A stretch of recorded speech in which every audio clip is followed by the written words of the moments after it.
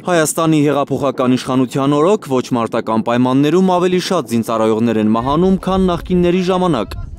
Եթե 2012-ից 2017 թվականներին 276 զոհ է եղել, ապա 2018-ից 2023-ին 355։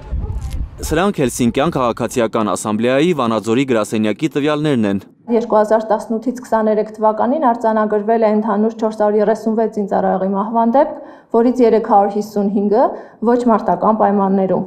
Սպանություններ, ինքնասպանություններ, ավտովթարներ, առողջական խնդիրների պատճառով մահեր։ Իրավապաշտպանների վիճակագրությունն ընդգրկում է բոլոր ողբերգությունները։ Ինչն է պատճառը։ Իրավապաշտպան Ժաննա Ալեքսանյանը վստահ է, բանակում տեղի ունեցող սպանությունները հաճախ ներկայացվում են որպես ինքնասպանություններ։ Այդ ինքնասպանությունները դրանք չեն հաստատվում, դրանք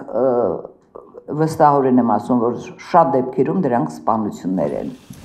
Ալեքսանյանը հիշեցնում է անցած տարվա օգոստոսի 11-ին Արարատի զորամասերից մեկում երկու ժամկետային զինծառայողների Գրանիկ Խնկոյանի ու Ժորա Կարապետյանի մահը նախաքննության վարկածով նրանք ինքնասպան են եղել։ Բայց իրավապաշտպանի համար առնվազն կասկածելի է, որ բացի հրազենային վերքերից զինծառայողների վրա եղել են բռնության հետքեր։ Բռնության հետքեր կան նրա վրա, մարմնի վրա հայտնաբերել են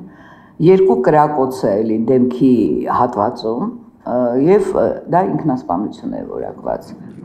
Զինդատախազի տեղակալի ու զինված ուժերի ներկայացուցչի պնդմամբ բանակում սպանությունները հիմնականում կատարվում են մարտական դիրքերում, ոչ կանոնադրային հարաբերությունների պատճառով։ Դրանց գերիշխող մասն էլ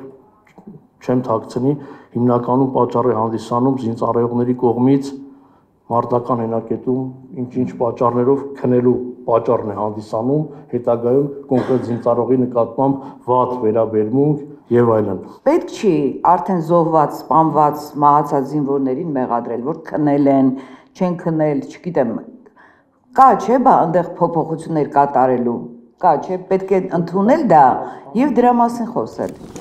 Փոփոխություններ անելը հավանաբար դժվար է։ Փոխգնդապետ Մանուչարյանը խոստովանում է, որ բանակում կադրերի պակաս կա, հատկապես 44-օրյա պատերազմից հետո։ Այսօր եւս մեր ռազմական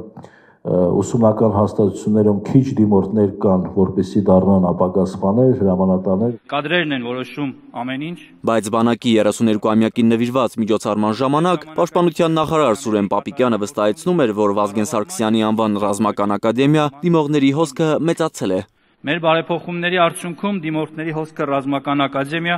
էականորեն ավելացել է։ Էդգար Ղուշչյան, Միլենա Պողոսյան եւ Աշոտ Ղազարյան, Հայլուր։